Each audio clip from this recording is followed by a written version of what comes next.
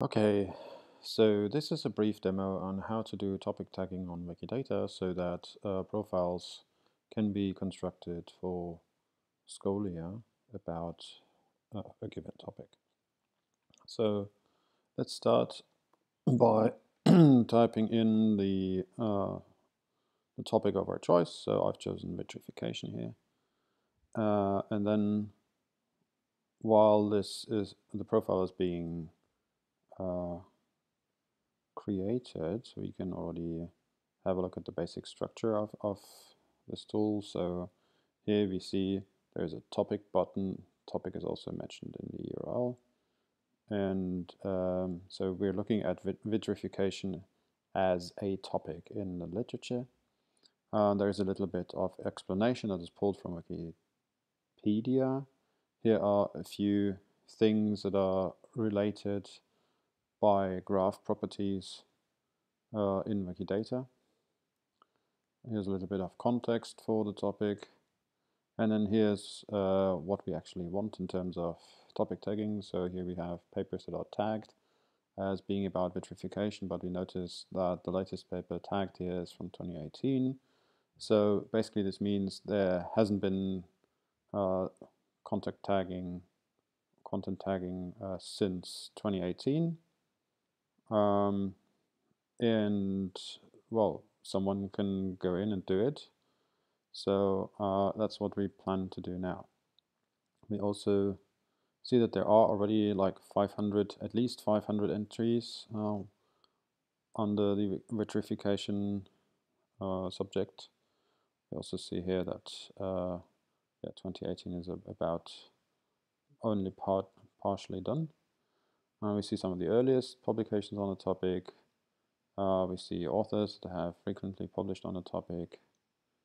Um, we see how they collaborate. We see topics that co-occur, cryoprotect and cryopreservation. That's not surprising because cryopreservation is one of the main uses of vitrification. Uh, we can have a graph of these topics. Some of the topics actually have a geolocation. So we can plot them on a map. Uh, da, da, da, vitrified red deer embryos, yeah, vitrification for uh, embryonic research. Then uh, we can take into account also the citations in order to identify the most prominent authors on the topic. And here is a little link that is going to be important, so we will open it already. Uh, we see the most prominent journals on the topic, uh, some works that are most cited, and authors that are most cited, then uh, institutions or organizations that are actually associated with the topic. So um, there's quite a spread around the world. Um, but yeah, Africa not visible as is often the case for various reasons. And then we have two hotspots here. One is University, Autonomous University of Barcelona, and the other one is Utah State University.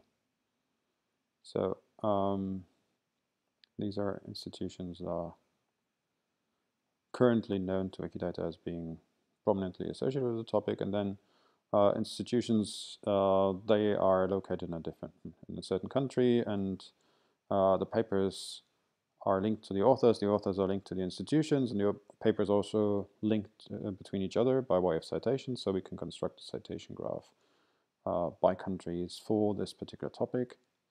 And some people who have worked on the topic have also received prizes, and so that's the kind of thing that we see on the topic profile. Now uh, we rem remember we wanted to uh, do topic tagging, so we wanted to improve the tagging of the papers uh, that already exist here.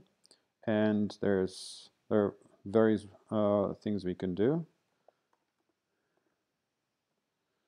Um, a simple one that often works, but I can't guarantee it works here, uh, is um, to actually look at papers that are cited, yeah, cited from works on a topic, but don't have this string vitrification in their title. So here we have the cryopreserved by ultra-rapid cooling.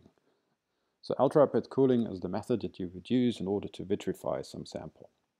And so uh, essentially um, it's, it's about vitrification as well.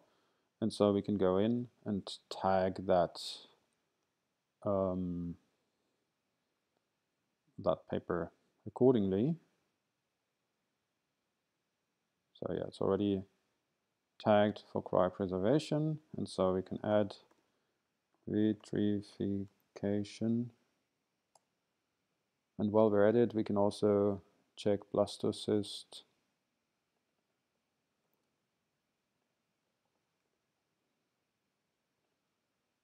and we can try bovine oocyte. Not sure that exists.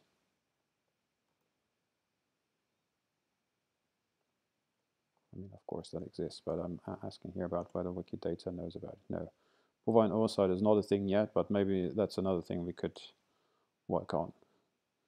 Um, so I'll, I'll uh, leave that for the moment. So um, here, importantly, this paper had not been tagged. Oh yeah, it had only been tagged with one topic, cryopreservation here. But um, already here, vitrification is kind of already known to it because here we take into account uh, the um, topics of papers cited to and from the target paper. So cryoprotecting, cryopreservation, zygote, microfluidics probably, yes. Um, so all of these paper uh, topics, they kind of occur on papers cited to and from. So that's another way to infer uh, potential topic tags. Um, because if something is often cited from vitrification papers, it might actually be about vitrification, but sometimes it's not. So um, yeah, now we have tagged this one as being about um, vitrification as well. If it's cited a lot from vitrification papers and it uses a method that causes vitrification, it's probably about vitrification. This is something we can say actually without having to look at the paper itself. But of course, for some things, if you want to do more detailed tagging, it is useful to do look at the uh, paper itself. But uh, that doesn't easily scale that well if you do it manually the way I've um, just demonstrated here, which is why it is interesting to look at automated approaches. Okay, so um, that's what we currently have. We can also we can try another thing. So out of those 200 total entries, we have 145 that have some sort of vitrification in the title here already, which basically means we could do the same thing that I've just done here uh, for this one paper. We could do this for the other uh, 54 that are that don't have anything vitrification in their title and then we could go and um, add the tag and so on. But yeah that doesn't scale well. And so I will briefly demonstrate one additional way of uh, scaling this up a little bit. Um, but uh, I'm interested in exploring how we can actually systematically use uh, text mining for these kind of things and especially leverage existing tagging like the MeSH uh, subject tags from PubMed for uh, such purposes. Okay, so um, something I had mentioned in between is the um, curation page. If you check the URL, so here we have slash topic, then slash Wikidata identifier, and here the same thing, slash curation. Um, so for uh, many of the Scholia profiles, you have such a curation page, which basically lists things that we already know that uh, are gaps or missing pieces of information uh, from the perspective of the uh, main page of the, so if, if we're looking at the vitrification profile, then uh, some of the papers are currently tagged with vitrification. Um, they are missing certain piece of information, like for instance here Mojdeh Salehnia is uh, a, a name string that often occurs on papers that have the topic tag vitrification. Okay, so here we have a little tool called the author disambiguator that helps us uh, disambiguate authors. So uh, it, what it does is it uh, finds all the papers that have this particular name string or slight variations of it and clusters them. So here we have group 1. Uh, let's see, here's group 2. Um, let's see where the group 1, group 2.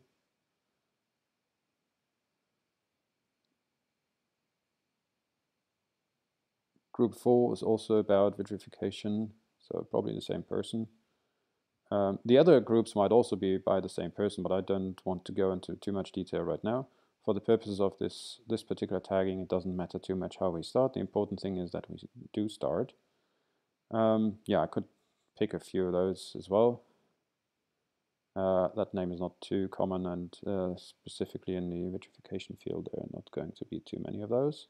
And here the first word actually in the, in the single paper that this identified person that that ORCID has published is vitrification. So we're talking about this um, same person here. So what we can now do is um, this author disambiguator has some tooling that will now go into certain papers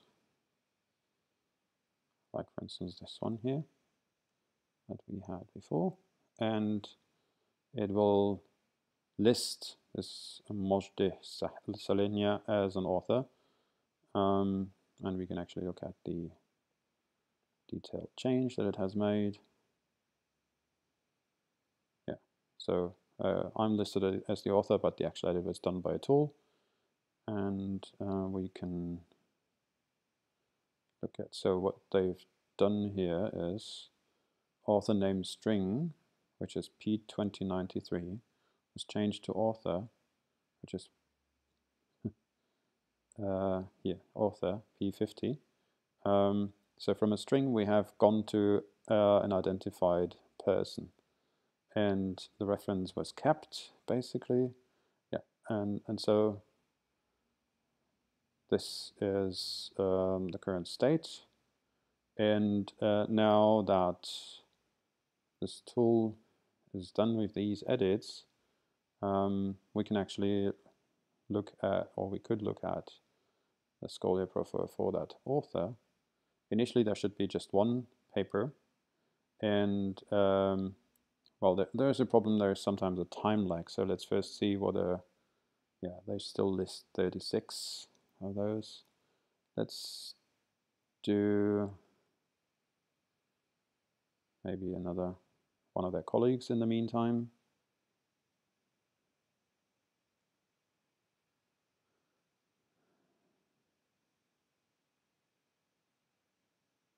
Yeah, some of this actually takes time. This is live computation on a large data set and shared computational infrastructure.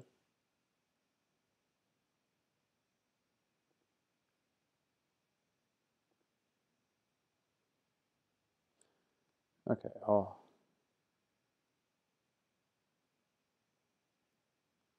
Well, let's try what happens. So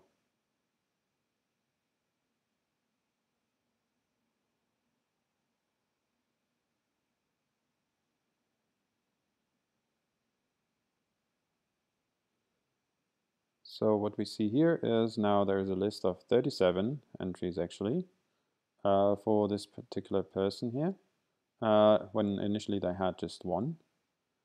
And uh, yeah, now, now we, we can see a little bit more about them. So there's an entire profile that we can build. Also, we can see uh, that vitrification is amongst the topics they've published most about.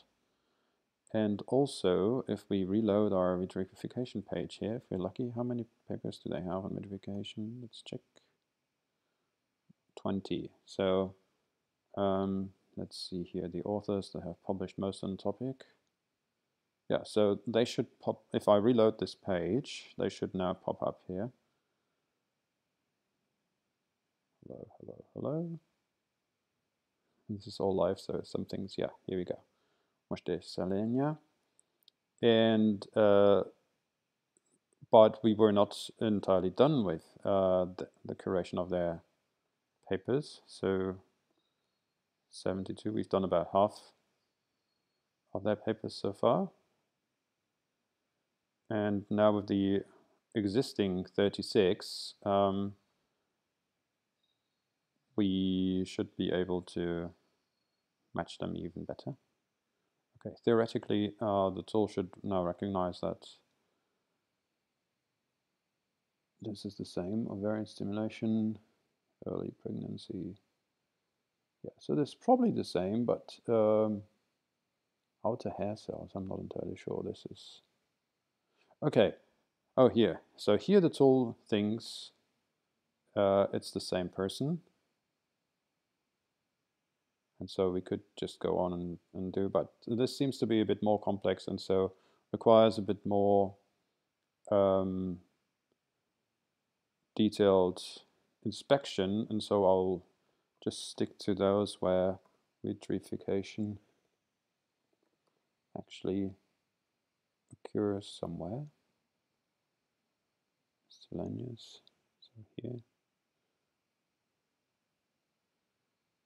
here, here. Well, cryopreservation is probably the same person as well. Here, here, here. And so this is an iterative process. Uh, so the more information we have about uh, this person here, the more likely uh, the, the tool is uh, to uh, be able to suggest whether any paper with this string would actually correspond to that person. And it might well be that there are some other people that have the na same name string, and if that's the case, then we would have to create another Wikidata item, and then we would have to choose between them here um, when matching the papers. Okay, yeah, so this is also done now, and so if we were to reload their profile, then ideally we should get more than 37 papers here. Uh, but there is some amount of caching going on which might disturb this a little bit. So yeah, if you do this when you reload, uh, when you watch the video, uh, the numbers are probably higher. okay, so that was uh, tagging with the authors, and basically we would like to do something similar um, for uh, topic tagging. We don't currently have a, a topic tagger, um, uh, but what we can do is, let me just close a few tabs here hello, hello, hello. Yeah, so this one, this was a colleague. Uh, I'll ignore that for the moment. Um, what we can do is look at some example of how to do annotations in, in, in a more, let's say, scalable way. And we have actually implemented that in order to curate the COVID-19 related um, information. So you, you, just saw me type in this shortcut WD colon COVID into the search box and then I'm ending up here on this page which is for Wiki Project COVID-19. That uh, is a collaboration to curate COVID-19 related information on Wikidata. This has a subpage queries that I'm going to use now and at the very bottom here under, under maintenance queries it has this section articles with COVID-19 topic and a title but not as a main subject. So what does that mean? Let's have a look at some of the examples. Let's see whether that gives anything. Okay, we have one example. Uh, so this is very actively maintained. Um, and let's briefly have a look at what this query does. So first, uh, we, we select a number of things here, basically, that then pop up as the headers of this table. Um, we tell the machine to use some optimization techniques. That's not important for us here right now. And then we actually search uh, Wikidata basically the same way. If I were to type COVID-19 into Wikidata, let's just do this quickly. So um, if I were to type COVID-19 here with um, quotation marks. That's the kind of search this would uh, do, but you see there's 82,924, there's 82,000 results. Um, this service here will only yield 10,000, um, but I've also uh, added the, uh, the additional search term pandemic. So let's see what this gives here.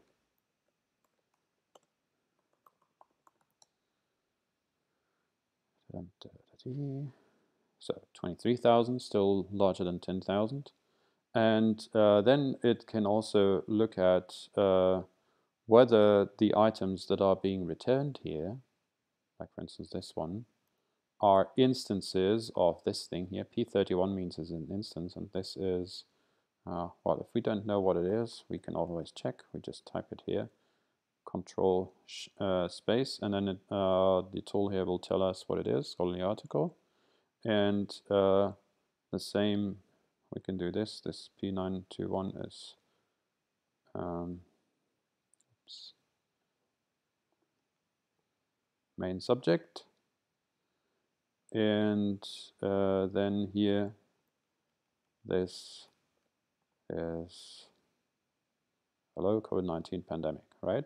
So basically what we're doing here is we're looking for scholarly articles, uh, items that have are an instance of a scholarly article that do not, that's the minus, have a subject tag of, as being about the COVID-19 pandemic, but uh, they have uh, COVID-19 pandemic or COVID-19 as a string with quotation marks and also the word pandemic somewhere on the page, which might still be in the title of a cited paper, um, which is why we do an additional filter to make sure COVID-19 and pandemic actually occur in the title. And since there's uh, sometimes, well, the, the, capitalization varies between uh, papers, we always normalize it to lowercase here. so basically what we've done is look for papers that have COVID-19 and pandemic in their title, but have not been topic tagged uh, as being about uh, the COVID-19 pandemic. And so right now we found only one. Uh, we can change this slightly because there are probably a few more that haven't been curated because there's also um, variants. Sometimes they use a different dash, they use uh, a space or so. Let's see what, what this gives here. oh yeah, now we have 74 results. Uh, you see here's one dash, here's a space. Uh, here's another space with space, uh, another one with dash. So yeah, um, there um, basically all these papers have some sort of a COVID-19 string in their title, but they have not been tagged with uh, as being about uh, this COVID-19 pandemic. We can check this briefly. So we click one of those and we see there is no main subject tag. Oh, no main subject tag.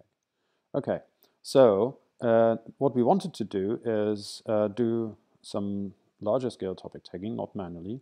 So first thing is we should check whether there is anything uh, that sticks out here in terms of COVID-19 pandemic tagging.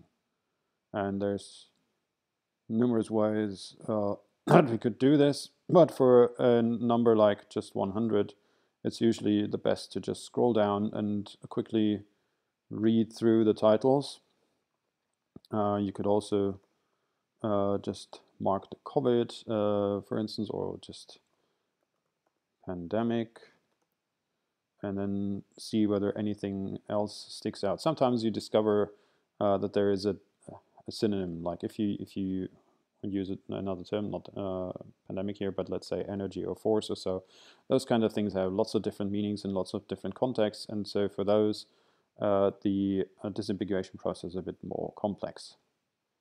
But anyway, so these 74 results seem to actually be all about the COVID-19 pandemic. And so what I can do now is I comment out these two, well, this line, which will basically mean that we remove these two columns from the results Here we go. And now we have something in a tabular format that we can reuse, I'll just uh, I'll delete the first line and then otherwise I'll copy paste this. And then I will go to another tool QuickStatements which basically can ingest such um, tabular uh, data. So I'll just copy paste this from memory import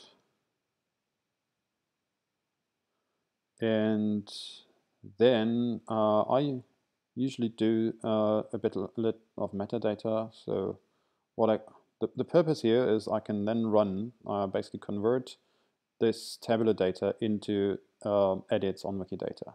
But uh, since this is automated and uh, there are um, there are lots of distractions always on, on, a, on a screen. Um, it's it's usu usually a good idea to uh, keep track of what we're doing here. So I'm copying this, and I also typically copy the um, the link to the particular query that I was using to generate that table. So that if anything goes wrong here, then this can be reconstructed, replicated, or fixed. Or if anyone just wants to replicate that same workflow, then um, they have my query right there. And yeah, so what this tool now is supposed to do is um, what we should be seeing here. So lots of people are active on this right now, and so my particular edits might have to wait for a while. Um, in the meantime, I can maybe show how to adapt this COVID-19 query to our, our vitrification um, use case. So um, first we bring back these two columns just for uh, quality control.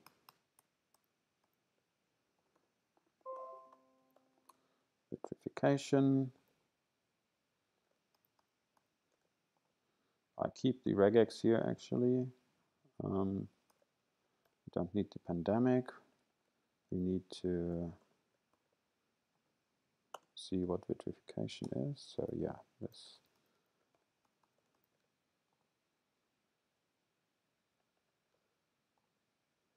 Important here for the QuickStatements, we need this P921. Um, the main subject should be the, uh, the same thing as here. So uh, if you only replace it here, then uh, that's not enough. You have to replace it here as well. That's why I named this variable replace with your target ID. And this S887 with this number here basically says this uh, this particular statement is deduced from the title. We should see this. Aha, okay, so the the first round of edits has already been made. Um, so let's have a look. So 10 adaptive measures. I should now have a statement. COVID-19 pandemic. That was the one that we were doing here. Uh, the main subject COVID-19 was done by Tiago already. And you see here it was deduced from title which has this number and uh, this is the P887 in uh, the language of QuickStatements that translates to the S, oops, where are we here? S887 that we put here. Okay, so back to the vitrification. So what we're going to do now is we search Wikidata for papers that have vitrification in the title, there's instances of a scholarly article, and do not have a topic tag vitrification yet. So we find 400, that's nice. Um, and yeah, we should check them. Vitrification of radio wastes, okay. Uh, the main check here is whether you find any vitrification that is not uh, the same as the one that you're interested in. So here about that one I'm not entirely sure, for instance.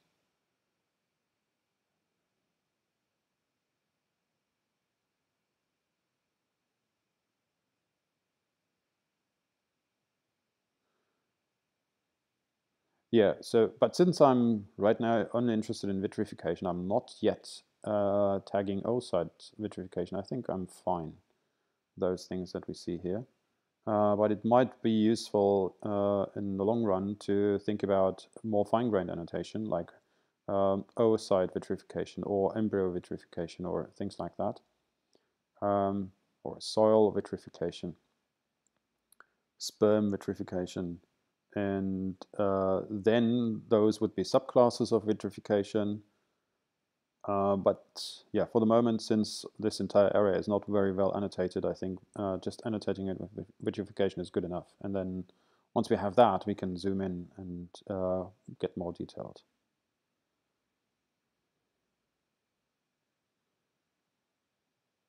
Okay, cryoprotectant free vitrification, okay.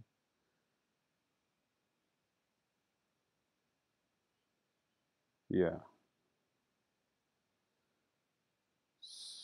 So, Heat-induced brain vitrification. Okay, interesting. That's not the rapid cooling vitrification uh, that I'm talking about. So that's a candidate uh, that I would exclude for for now. Uh, but actually a very interesting thing. Yeah.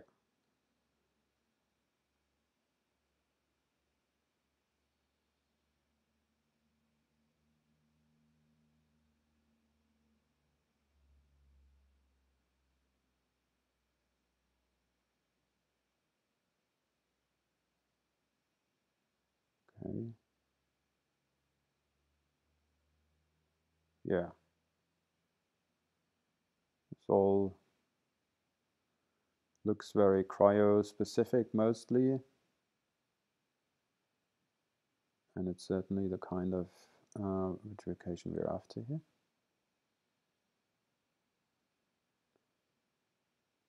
Electric arc furnace dusts. Oh my goodness. Okay. But still kind of that's not cryopreservation, uh, but still that's vitrification. Um,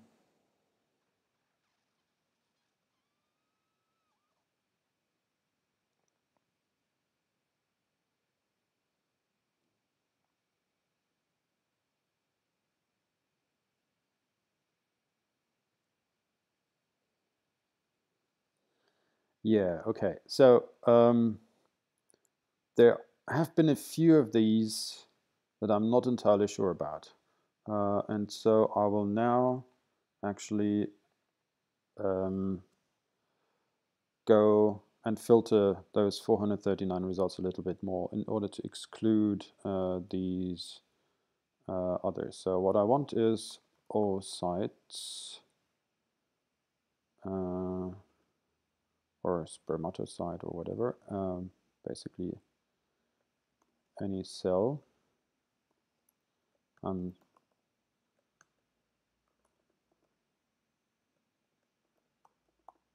something like this.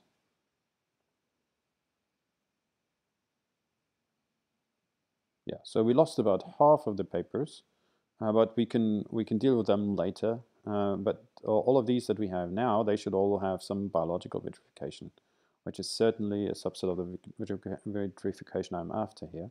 And then we can deal with the heat-induced and uh, the other kinds of things later on. Okay, so we have that. And now we basically do the same thing. We comment out these columns. And download the data. Get rid of the first line and then we paste it in here.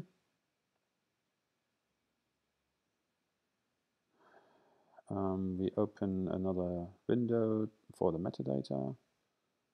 So this is vitrification deduced from title. Uh, and then here, this is the query that we were using.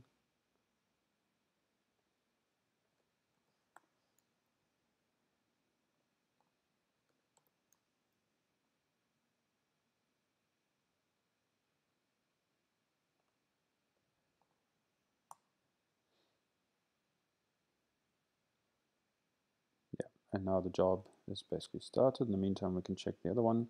So the other one is finished. Um, and so, which means we should now be able to, oh yeah, we, we can reload the COVID-19 pandemic uh, profile. Um, yeah, in the meantime, while this is running, maybe that's a useful thing to do. Um,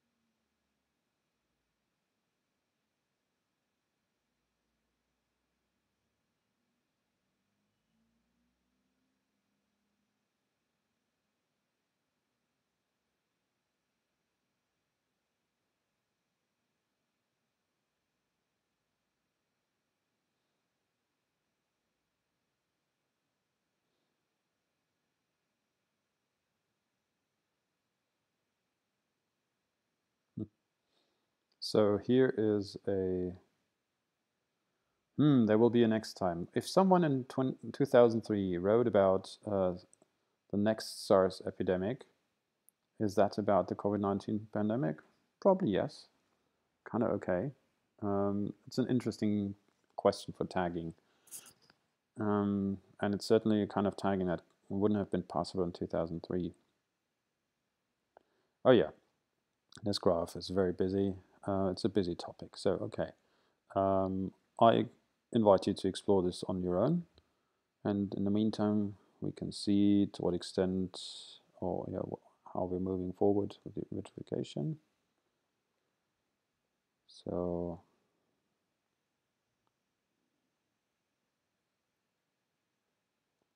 what's happening here? Oh yeah, so we have to share the resources with uh, the other um, batches that are currently being processed.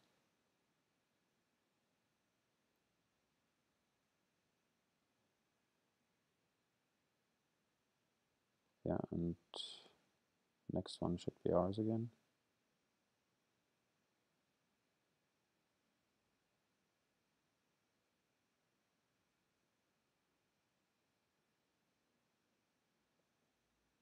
Yeah,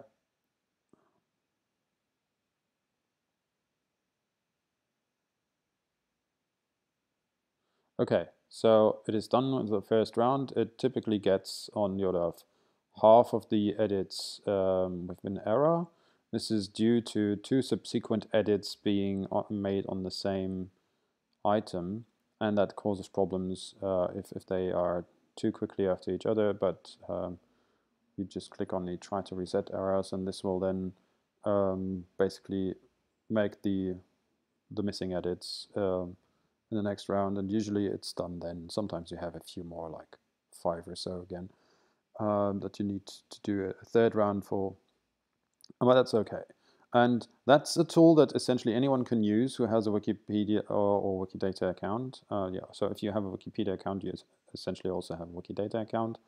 Um, tools can only be used on Wikidata if that Wikidata account actually has a no certain number of edits. I think 50 edits and it has to have existed for four days at least.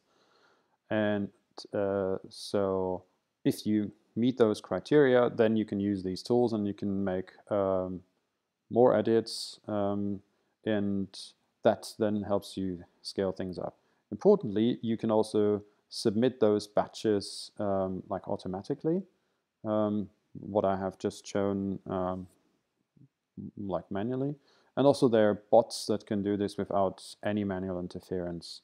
Um, but they require more preparation. They can't easily be done by everyone. That's why I'm demoing this here. So uh, now, why did we do this uh, vitrification annotation? Because we wanted to uh, enrich the um, Scholia profile for vitrification, which is why I'm now going to take a snapshot of that. So here we have the um, profile as it currently is. I'm not reloading the page yet, I'm just taking a screenshot. um, downloading that file. Okay, and once this is done here, in the meantime I can close a few of those windows.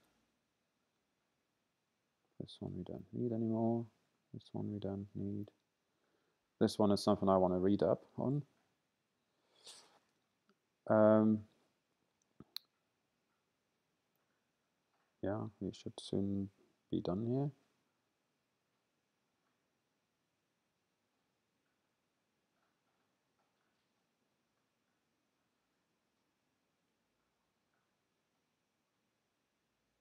Okay, so we're done now. And so now I'm yeah closing this one as well. And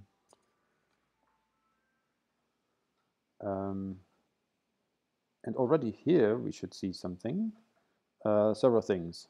Um, we had annotated the papers for this Mojdeh Salehnia, and so they should uh, disappear from the missing author items uh, list here. And now other people should pop up because we have annotated lots of more papers, and so this table could actually uh, look completely different. Let me just paste it in here and then reload.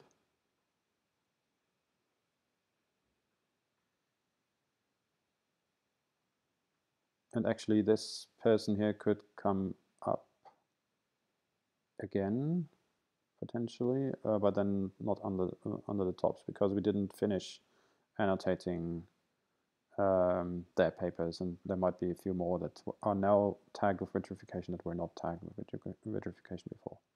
Anyway, Anna Kobo here, listed with 21, is now listed with 24. Li Ching Chan, 22, that hasn't changed. Vladimir, 21, 19. Yeah, so you see there is a bit of movement here. Um, but now the more interesting thing is um, that we take a look at the profile for vitrification itself. And now hopefully there should be some papers that go until at least 2020, maybe 2021 as well. The most recent few months are always uh, most incomplete because, yeah, um, papers need to be published first, then their metadata needs to be available. The metadata needs to be imported into Wikidata. Um, the author name strings need to be converted into actual authors. The topic tagging needs to take place. Um, and so all these things um, take time. Oh yeah, so what we have here is a few from uh, this year, and but uh, yeah, quite a bit from last year. And yeah, so here you see there's still um, quite some bits missing compared to what you would expect from the previous round. And that's something that uh, can come from uh, different ways of curation. So I just showed you those where vitrification as a uh, word actually occurred in the title. Um, you could also search for other strings like vitrified, vitrifying, uh, vitrify, those kinds of things, um, or even glass formation, uh, but that uh, occasionally is a different thing. Um, and the uh, and so if you combine all these different ways of annotating the topic, then you should end up with amounts that are similar here. Another reason why this might be incomplete is still that there is usually a synchronization time lag between um, what you see here and the actual edits. And so uh, maybe just waiting for uh, half an hour or so would uh, actually make this more complete here as well. But uh, I would be surprised if it would already reach the levels that you ex expect here. Another reason might be that uh, some of the relevant papers just have not been imported into Wikidata yet. Okay. Um, oh yeah, look here, our Mojdeh now has 25 um, when they had 20 before. This graph looks similar, cryoprotectant hasn't changed. Topics. Uh -huh, okay. So for some reason this Roche Salehnia is not cited as much as these people here, um, even though they have published a lot on the topic. Um, citations. We can do the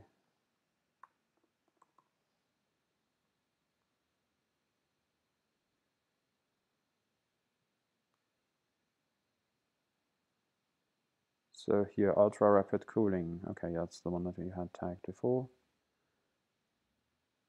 Yeah, another way to find out about uh, papers on a similar subject is just take some of the most prominent authors here and uh, check what their profiles are and maybe uh, this way we can identify a few more papers that are actually about vitrification but just don't have this in the title.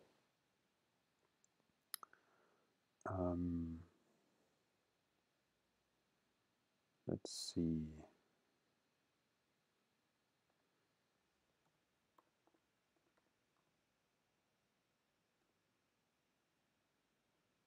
Yeah, so for instance here they have vitrified and autografted tissue.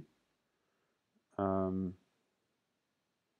so what we can do is we can go back to our query here and modify that a little bit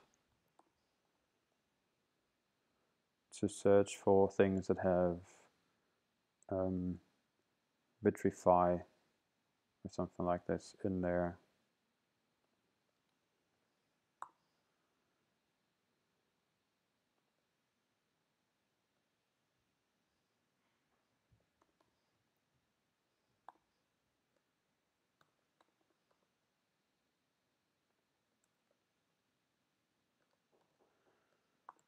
and here they have so when I'm doing this uh,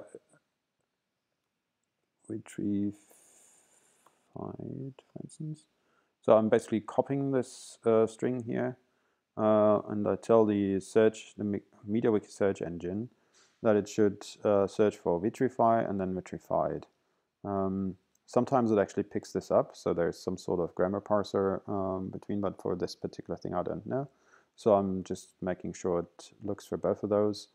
Um, the, I could also try vitrified or vitrifies, so I'll, I'll uh, just leave that and then um, we are looking for those that have not been tagged yet, and then let's see what, what that gives. Okay, it gives a, a few. We should actually make that more visible.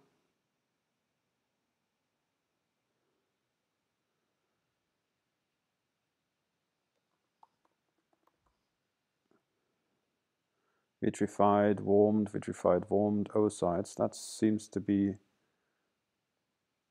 a term of art uh, that is worth a closer look. But it certainly involves vitrification, so tagging those with vitrification wouldn't be wrong. Uh, it would just not be very precise. And I think, um, yeah, now, now we could, uh, for instance, think about um, setting up some sort of an item that would capture this concept. Uh, I don't plan to do that right now.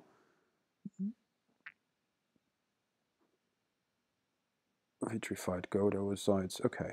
So I, I think for, for our purposes, this is good enough uh, right now. Um, we can thus add a few more uh, of those. Oh yeah, another reason why the uh, vitrification, um, the publication curve here uh, was not complete is of course because we filtered only for those things that had uh, these specific terms here in their title as well. Um, and that removed about half of the candidates. So uh, if we look at the remaining ones, we can probably then fill that gap after a while. But we should watch out for those where there's heat-induced uh, vitrification, and um, that's uh, potentially something different.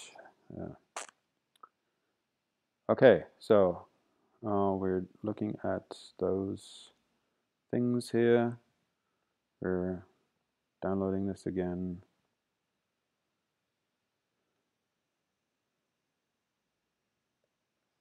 And then putting it into QuickStatements. Oops.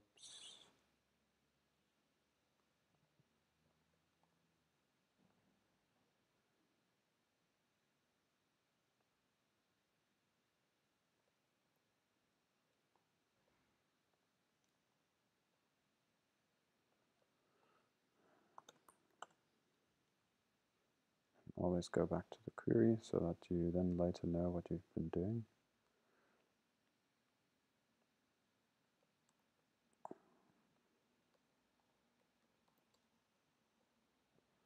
And then we can run it in the background. Okay, and so this way we can uh, slowly but surely improve the uh, vitrification profile which then allows us also to identify uh, like people uh, that are uh, relevant, uh, the, the co-occurring topics, um, maybe locations. So what's this here? Earthquake, vitrified warmed oocytes.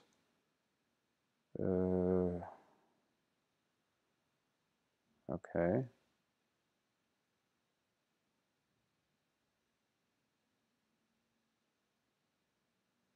Interesting. Garden here, first in twins in India following a transfer of vitrified oocytes. Okay. Yeah, so vitrified oocytes is certainly a thing that we should um, consider annotating as a subset of oocytes and uh, then vitrification of oocytes would be a subset of or subclass of um, vitrification. And then you can get more specific vitrification of human mature oocytes um, and so on. Um, here, it's up to use cases. Like if anyone's interested in annotating that at a more granular level, they can go in and do it. Um, but otherwise, uh, it will just grow naturally by whoever else is interested in related subjects and so on. Yeah. Okay, so let's see what the progress is here.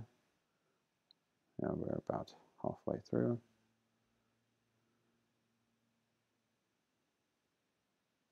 Yeah, now let it do the, the other bit. And so now if I reload the page here, um, let's see what the, this was 95 for 2018. Let's see whether we now have a different number.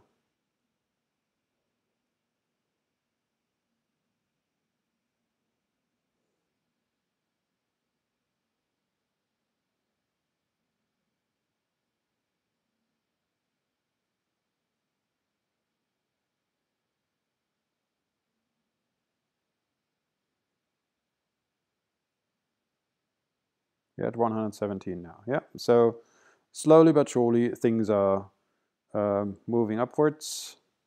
And so we can then look at closing this gap. That would basically be um, a, a goal.